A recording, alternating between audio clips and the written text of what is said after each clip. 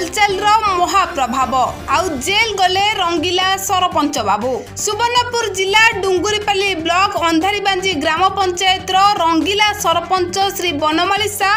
ଗତ ଛଅ ତାରିଖ ଦିନ ସଙ୍ଗରୋଧରେ ରହୁଥିବା ଜଣେ ଯୁବତୀଙ୍କୁ ଦୁଷ୍କର୍ମ ଉଦ୍ୟମ ଏବଂ ଦୁର୍ବ୍ୟବହାର କରିବା ଅଭିଯୋଗର ଗ୍ରାଉଣ୍ଡ ଜିରୋରୁ ଆମ ଓଡ଼ିଶା ହାଲଚାଲ ଚ୍ୟାନେଲରେ ଖବର ପ୍ରକାଶନ ହୋଇଥିଲା। ଯୁବତୀ ଜଣକ ପେଟ ପାଇଁ ନିଜ ଗାଁ କୁଳଥିପାଲିରୁ ସୁଦୂର କଇଁବାଟୁକୁ କାମ କରିବା ପାଇଁ ଯାଇଥିଲେ। ସେଠାରେ କରୋନା ମୁକାବିଲା ପାଇଁ ସରକାରଙ୍କ ଲକଡାଉନ ଫଳରେ ସେ ନିଜ ଜିଲ୍ଲା ସୁବର୍ଣ୍ଣପୁରକୁ ଫେରି ଅନ୍ଧାରିବାଞ୍ଜି ଗ୍ରାମ ପଞ୍ଚାୟତର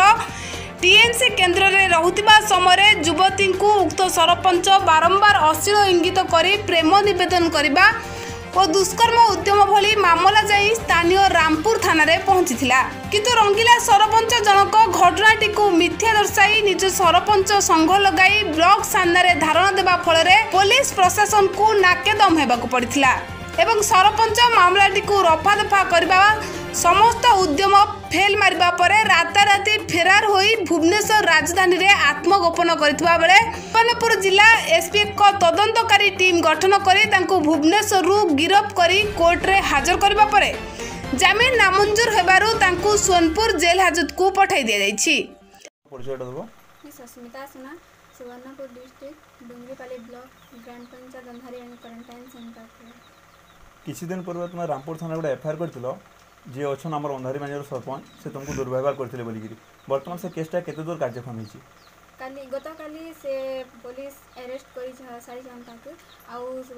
जेल रे रखनी तुमे प्रकार निया चाहो जो जेन ते खुशी हे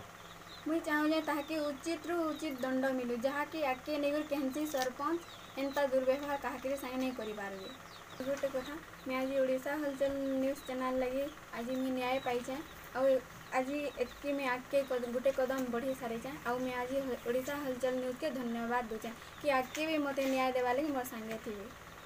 ଏପରି ସ୍ଥଳେ ଯୁବତୀ ଜଣକ ନ୍ୟାୟିକ ବ୍ୟବସ୍ଥା ଉପରେ ଭରସା ଜୁଟାଇ ଦୋଷୀଙ୍କୁ କଠୋର ଦଣ୍ଡ ବ୍ୟବସ୍ଥା ନିମନ୍ତେ ଦାବି ଜଣାଇବା ସହ ଏହା ସରପଞ୍ଚ ସମାଜ ପ୍ରତି କଳଙ୍କ ବୋଲି ମତ ଦେଇଛନ୍ତି ଅପରପକ୍ଷରେ ସରପଞ୍ଚଙ୍କ ଗିରଫଦାରୀକୁ ବିଭିନ୍ନ ମହଲରେ ସ୍ୱାଗତ କରାଯାଇଛି